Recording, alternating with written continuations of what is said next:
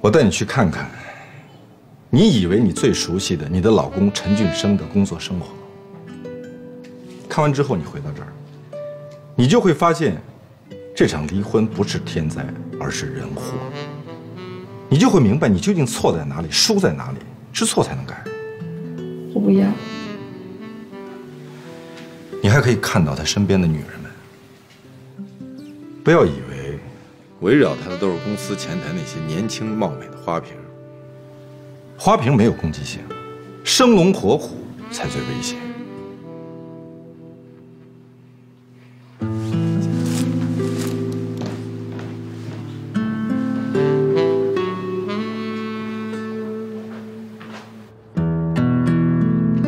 我现在带你去趟 BNT，虽然跟陈俊生供职的陈星是两家公司，但是工作内容和人际关系是差不多。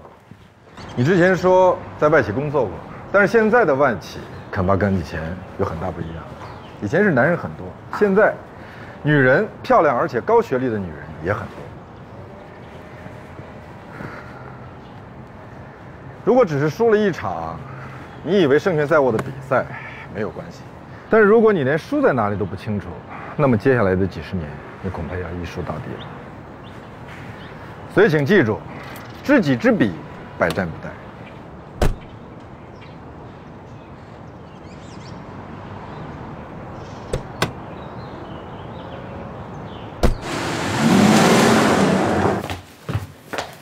哎，快进来。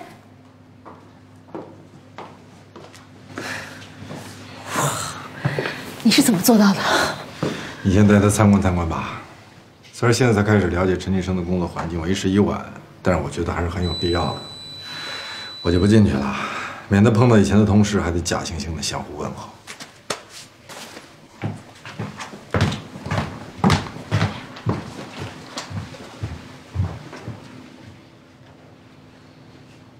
这面这一排带玻璃的、带窗户的这些办公室，都是属于我们的咨询顾问的办公室。我的办公室，不同的小组，根据不同的行业会有细分。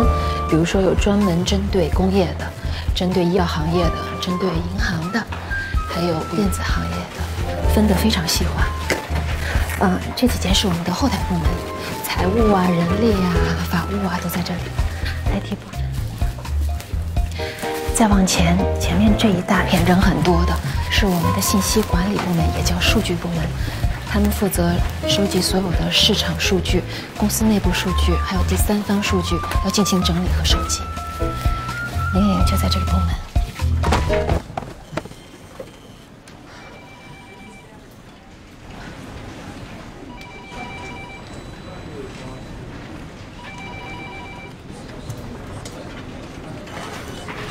我们在这里这样看他们，会不会影响他们工作？不会，看大家都在埋头苦干，只要你不大喊大叫，没人会注意到你。你装作若无其事的样子，大家会当你是空气。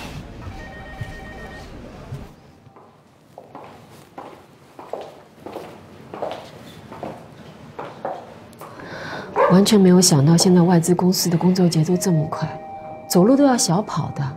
可是这样当机器人有什么意思？还有没有时间照顾自己的家庭、孩子？有没有时间见朋友？当你不了解事情真相的时候，先不要急着下结论。哎，既然来了，咱们就一块吃晚饭吧。已经好几天没好好吃饭了。刚才我已经定好地方了。我不去了，你们吃吧。你就不想了解这些人下班之后，陈俊生下班之后回家之前都去了哪儿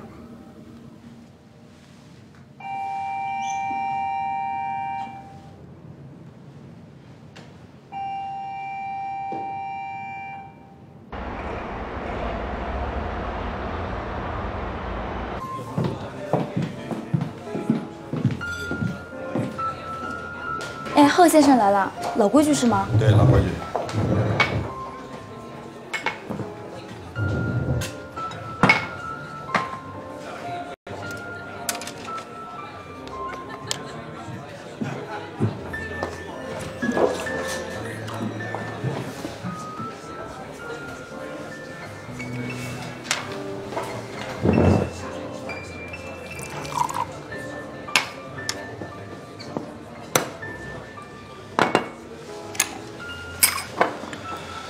如果真要想喝酒呢，就先吃点东西。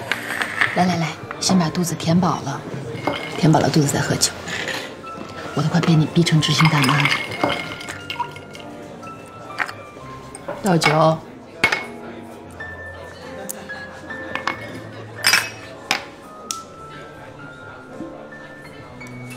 陈女生天天加班到半夜，很多时候并不在公司，而是在这里。陈女生从来不喝酒，他不一定是来喝酒的。这儿也是公司生活的一部分，社交的目的更强，也可以在这儿更放松的跟同事、客户谈一谈对项目的看法。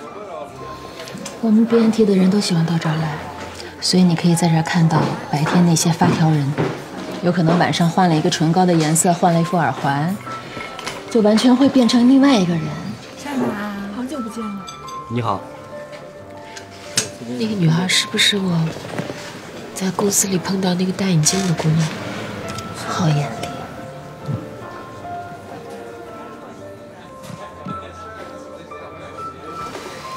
嗯，你说陈俊生经常来酒吧，那个……你是说玲玲？他们那个级别的人不太会来，除非有人叫上他们。毕竟他们跟顾问还不能平起平坐。但是。但是什么？我们先喝酒，等一下再说。这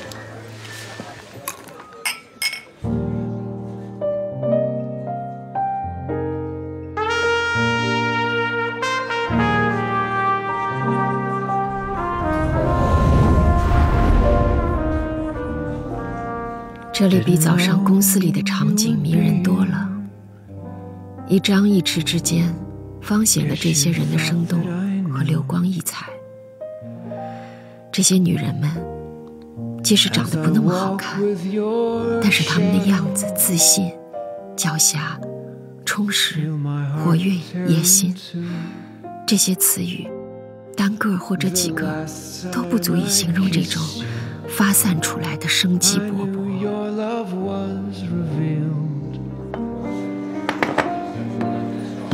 And I'm left here now wondering just how How could this seem so 干嘛？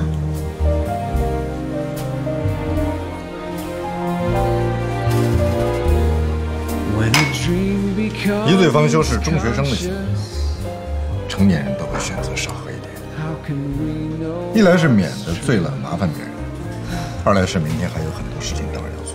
三来是贺老师这瓶酒价格不菲，用来买醉太奢侈了。没错。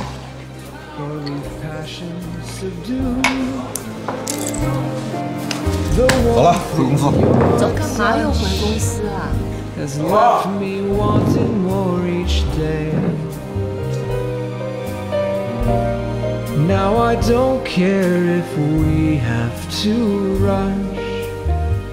？Just tell me that you'll stay.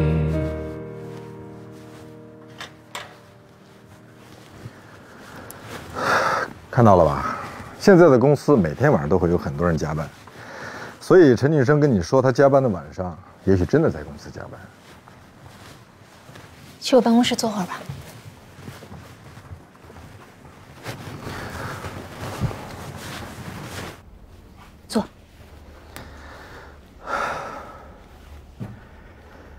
你就坐在这儿，设身处地的去感受一下。如果白天忙了一天，到了晚上堆在你眼前仍然是堆积如山的工作，这一个晚上你恐怕就没法睡觉了。而第二天一早，又将会有一大波的工作在等着你，你会是什么感受？要是在这个时候，有人愿意留下来给你帮一点忙，或者即使帮不上忙，只是留下来陪伴一下。再送来点热茶和宵夜。如果是你，你会爱上他吗？你是说，陈君生跟那个女的就是这样走到一起？看来你懂了。我出去走走。你等一下，有些话我知道现在说了不好听，但是我想我必须还是要提醒你。你先坐下。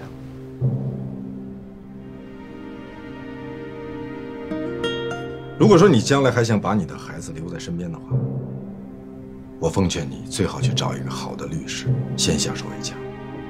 至于财产，尽量让陈俊生净身出户，可以做得到的。去掉感情因素，就把这离婚当成一个 case，你必须为此做一些准备，以求的损失降到最小，让陈俊生赔钱，越多越好。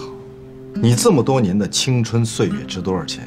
就在此一算计了，不要情绪化，也不要脸皮薄，锱铢必较，否则你搁不了多久，就会后悔莫及。谢谢，我陪你一起吧。不用了，我回到家的时候给你打电话。